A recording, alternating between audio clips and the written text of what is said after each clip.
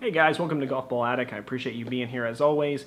Uh, so today I'm actually doing a review of the FlightScope Mevo. This is a personal launch monitor around the $500 range, best used for practice, things like that. And uh, honestly, uh, you know, if you watch my channel at all, you know that I've been using this for over a year now on my channel to give the results. Um, it's something that I wanted to review at the beginning, a long time ago, but unfortunately I was having some hiccups with it. I just didn't feel comfortable putting out a review yet, but now I feel I'm at a point where I can kind of give my final judgment and verdict. All right, so let's start first with what you get in the box. So your box is gonna look something like that right there when you open it up. As you can see, you got the Mevo in there, and the first thing you might notice is it's very small. I mean, this, this is fitting in the palm of my hand. It's a very small device. Um, not much to it really. There's no display. You've got like a little battery, you know, up here at the top that tells you how uh, much battery life is left, whether it's connected Bluetooth. Um, looking on the side there, you will see that it does charge via a mini USB, which is a little weird. That's a throwback. That's like a PlayStation 3 controller uh, charge port. That's you know definitely what we used a, a few generations ago. Um, but it comes with the cable, so I mean it comes with one like that. Uh, down below that is your uh, on, your uh, your power button. You know, on you can hold it. it. it.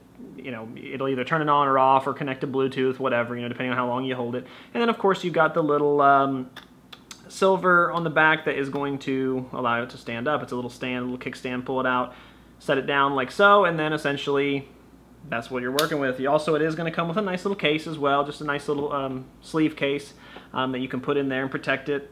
Uh, nothing too special about that, but it does feel nice, and it's nice to have a case with it. I recently got a uh, swing caddie, and it didn't come. It was extra with that, so uh, having it included is a nice touch. All right, another thing you'll see is it does come with these. Now, mine are a little bit scattered and messed up, but these are actually metallic stickers. You use them essentially to put on the golf ball, and it allows the spin to be registered a little bit better. Light's going to reflect off of it, and your Mevo can essentially, you know, tell the RPMs per minute a little bit better is the idea how well the stickers actually work. I'm not sure to be honest with you. I've done it with them, I've done it without them, and I've never seen a substantial difference, but the company claims that if you put one on there, it's more accurate spin results.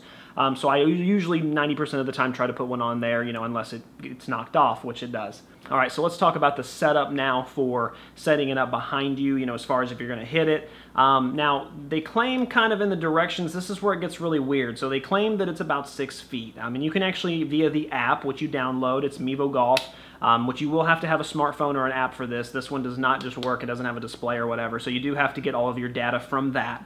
Um, but once you download the app, the app's pretty easy to use. Um, but it does claim that you can do anywhere from six to seven feet. It has a setting in the app to do that, but I will say that that's not 100% accurate. So I've actually been in touch with uh, Mevo's customer support recently, and uh, I was told straight from the guy who tests them all day himself, he says they are pretty finicky. So with wedges, they recommend four, four and a half feet. Um, with uh, normal irons, I believe it's around that six feet, and then with a driver, you're talking eight to nine feet. So it, all depending on the club you're using, it will allow it will make you put it either back or closer depending on the club you have. Um, but what's really interesting about it is it doesn't say that in the manual, so it's very confusing. If you, I can tell you, like I, for for me, I played with it for a long time, six seven months, trying to figure out exactly where that right line was, and still struggled. And then to have the guy go, oh yeah, it could be four feet, could be nine feet. It was like, well, why isn't that in the instruction manual? It's pretty frustrating, especially when you have a product that is finicky, and you know the company will admit it's finicky, I wasn't too pleased with that, but the idea is you put it about six feet behind you, uh, right behind you in the ball, take your swing and it will register some stats for you. It will register things like spin, things like distance carry, uh, things like smash factor, all, all, kinds of things, ball speed, club speed. It has a, a really good wide variety of metrics and not all uh, personal launch monitors do spin, so that's why I really wanted this one from the beginning was so I could get those spin numbers for you. And for the most part, I'd say most of the numbers have been pretty accurate. Um, I, I haven't had really too many issues with the numbers at all the entire time I've had this thing. Uh, toward the end that happened, but I'll get to that in just a minute. But honestly, the numbers seem pretty good. Um, it has a pretty good battery life. I'm able to use it many times out there before finally coming in. I would say, you know, about four or five hours is what I get out of it usually, which is pretty good. So, I mean, you don't have to charge it. Um, I do think it performs best at its peak battery. I think if it's only got a fourth battery left, I feel like the numbers start to fall off a little bit. But that, that's just from what I saw. I don't, I don't know 100% on that. I didn't test it in depth, but that's how I felt. All right, and I will show you a little bit of the app here. Um, this is something I'm going to just show on my phone. As you can see, um, when we pull out the app, It is called FS Mevo Golf. It'll come up, and essentially what you do is now there's two ways you can do this. One, you can just do it to where you're just getting numbers. You can also do the swing uh, video as well, where you set your phone up. It'll do a whole video with it, tell you what the numbers were, and you can see what the difference is in your swing video-wise, which is very handy. It's nice to hit a nice flush shot. You know, the smash factor be all the way up there, and then also be able to see what you did, opposed to a shot where maybe maybe it come off the wrong part of the club, maybe you just came a little out to in. You can go back and look at that. It's a very nice feature to have, and I didn't actually use that until later having it. If I go to settings here, you'll immediately see it has an outdoor, it has an indoor, it has a pitching. Um, this is tough because when I was in, you know, talking to Mevo customer support, they were telling me to play with all these different features. They're like, well, try it in outdoor mode, try it in indoor mode, try it in pitch. It was very difficult, and I haven't had that issue with the Swing Caddie yet. You know, the Swing Caddie's just been plug and play, so it's been a lot easier than that goes. Some of this is really confusing. You know, you put your altitude, how far you are up, uh, distance to tee, like I said, you can do six to, to seven. It's uh, anywhere in there, but again, you're not going to follow that, so I don't know why it's in there. Um, you can do how your data displayed, what type of measurement you want, what data is in there on the front, and then, um, I mean, honestly, just there's a lot of different, and you have to just kind of follow the manual. But you can see down here at the bottom left, it says all clubs, and then you can go, you know, like I did nine iron and pitching wedge. So like nine iron, I had two shots, but I mean, it, it kind of puts all of it down there. What I really like is at the bottom, it'll tell you your averages down there, which is really good. So when you have a, a driving session range and you hit your six iron, you know, you can go to the end and see what your averages were. And averages are very important because golfers a lot of the time will hit shots. You know, they'll hit majority of their shots 150 with their 7 iron and then they hit 1 165 and they'll say, "Oh, I can hit my 7 iron from 165." And that's what they tell people. Not the same thing. Averages are definitely what you want. You want to know what it's like when you miss hit it. You know, you want that average. If you miss hit it and it's 140 and you flush it and it's 150, you hit it 145 and that's what I would count on. Um, so th this information I think is really good for that. And there's just so much good information to be honest with you. You know, your spin, your smash, ball mile an hour, you know, carry yards, club, all sort of that. Um, you can choose between the different clubs as you're using them and it's very important that you choose the right club because the window that it's looking for is dependent on that so if you're hitting driver and you have it on pitching wedge your numbers are not going to be accurate because it's looking for a totally different type of, of ball flight essentially and it, it, it will not work the numbers will be way off um, so ultimately what it comes down to if you saw my video before I switched from using the Mevo, and, and there's a reason for that. Um, although the Mevo does have a lot of potential and it has a lot of great data, I've had a lot of issues with it, and I want to get into those right now because I do want people who are thinking about buying it to be aware. Um, the first problem I would say I have with it is it's not always 100% great at reading shots. And when I say reading shots, I don't mean the numbers are off. I mean it won't read your shot. I mean you'll hit something absolutely flush, just doesn't read it, just didn't read the shot. Um, you know, and I've spent a year playing around with this. So before you go, oh, well, Nick, maybe you weren't, I, have done everything. I promise you, I have done everything. I've sent this thing back for um, the warranty. I've, I've put it to the right of me, to the left of me, behind me, in front of me, above me, below me, dug a hole, put it in the hole. I've done everything imaginable to get these shots to read. And I'll be honest with you, there are some times, there are some days, and there's some golf balls, it'll only read about 50% of the shots with the TP5, I've never actually gotten it to register a shot. I mentioned that in the video before as well, that I've, I've tried to review that for months, and, it, and no matter what shot you hit, it will not read it. Uh, some balls, even if you shank them into the ground, it'll read, but then you hit one flush and it won't. And that is so frustrating because the whole idea of this product is, well, to get data, hit the golf ball, it reads it, and you get the data. If it's not reading it, then it's, it's useless.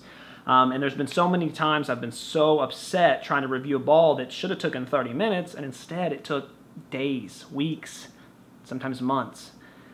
And that made it very difficult for me using it because it, it took away from my subscriber audience, you know, giving them the, the reviews they need, um, why they're there and why they're trusting me. Um, so ultimately, I wasn't happy with that. The other thing that started to happen was, is about after having it for 10, 11 months, I did notice the numbers started to go down. Now, my numbers with a pitching wedge are usually 90 mile an hour ball speed, and let's say around 120 yards carry with, you know, the pitching wedge. And that's that's been consistent with the Mevo since I got it. That's how my numbers have always been.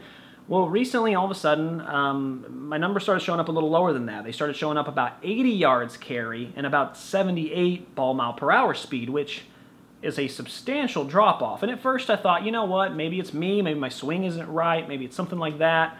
Um, but no, I, I continued to hit some pretty good shots. I actually went out my backyard and hit a full shot and measured it. it was 120. What did the Mevo register at? 80. And that's that's substantial. And the reason that's substantial isn't because we're not talking about five, 10 yard difference. We're talking about 40. You know, I, I was hitting 120 yard shot and it was saying 80. It took off 33% of my distance. That's not going to give you any information. If your whole goal is to figure out how far you hit your clubs and to get basic data, it's not going to help you if it's that far off. And I don't know why it happened all of a sudden, but I went through the process of turning it into warranty. I sent it to them. Three weeks later, they sent it back. They told me it was fine, and unfortunately, I went out and tested it again. I'm getting really bad numbers, you guys. I, I mean, the numbers are all over the place. And as much as I think that there is something wrong with this unit, I have to take the company's words at face value that it is okay. So I don't think it's entirely accurate all the time. I think, you know, if you hit enough golf shots, it is. But nothing like I've experienced with the swing caddie so far because the swing caddie's just been put it down, hit a ball, have a good time. And that is so, I cannot tell you how much nicer it is to have that. Um, now, a lot of people love the Mevo. I've seen great reviews. I've seen, you know, Golf Spy. I've seen Golf Digest. I've seen a lot of big name companies rave about it. I've seen a lot of local uh, golf courses start to put these in and allow you to hit them off the range to get data. A lot of people trust the Mevo, and for a while I did too. Um, so I, am not ready to, to not recommend it, um, but I will say be careful. Um, you know, as far as who's this product for, if you're wanting to get some data, I think it is a good product. A lot of people trust Mevo, um, but be weary because I've had some issues with it. I've had it not registering shots. I've had it not, you know, so for me, it's like, what would I recommend, this or the swing caddie? For me, would be the swing caddie. Uh, to me, it's just so much easier and it just works a lot better and it just, it's not as finicky. Those are the three main reasons I would probably have people stay away from the Mevo or even just think about it is one, it's finicky, and the company admits it's finicky. It's got to be perfect. Everything's got to align perfect to read a shot correctly. I think that's going to annoy a lot of people. Um, I think you know the numbers being off after a certain point. It kind of worries me.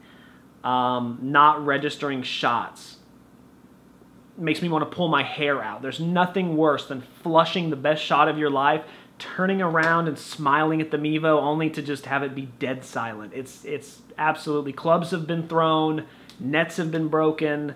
You know, it's it's just been bags have been tossed. I mean, it's been so frustrating because it just will not read these shots. Um, so all in all, I think FlightScope has a good product. Like I said, there's a lot of people. Bryson DeChambeau uses the Mevo Plus. I think people trust them. Maybe I just got a dud. I don't know, but I I can't feel really fully confident recommending this product to a lot of people. One, because it's $500, but also I think there's a lot of comparable products out there that are more consistent, at least for me.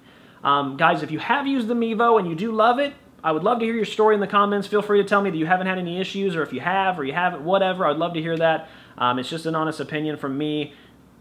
I think there's better products out there, but I appreciate it. I appreciate everything Mevo's done. The customer service has been great through this whole process, and you know I've gotten a good year out of it. So, um, yeah, all in all, appreciate you being here, guys. As always, keep watching and keep saving.